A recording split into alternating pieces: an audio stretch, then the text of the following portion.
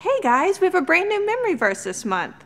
Are you ready to learn it? Remember, this is from the Bible, so we know it is true and right. And these are God's words for us, so we can believe them. Okay, let's say our verse. Jesus said, I am the resurrection and the life. John 11, 25. Okay, now let's learn the motions. All right, are you ready? Point up to the sky.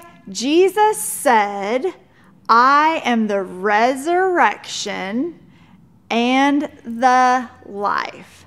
John 11, 25. Let's do it all together. Jesus said, I am the resurrection and the life. John 11, 25. Great job, guys. Keep practicing.